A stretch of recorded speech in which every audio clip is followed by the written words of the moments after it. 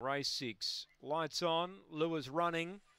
Best back nut allergy. Good money me and socks late. They're ready. Away. Me and socks jump pretty well off the inside. Tina's magic. I don't know if she can clear them.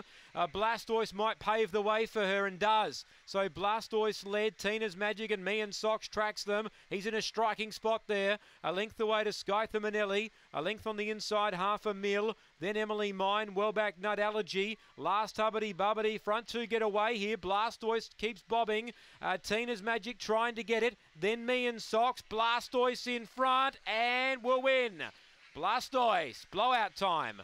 It wins. Second, Tina's Magic. Me and Socks third. Nut Allergy fourth. Half a mil. Skyther Manelli. Hubbity Bubbity. Emily Mine. Time here is 30 even. Blastoise. Well, there you go. That's thrown some spice into the quaddy. Shelley Trengove. Wow. Blastoise. The Ranky. The rank outsider wins. And surprises many for Shelley Trengove at $20 plus. Number seven leads all the way. Was able to burn over. Tina's Magic couldn't quite get to the rail and she was stuck outside Blastoise. And she couldn't get around him.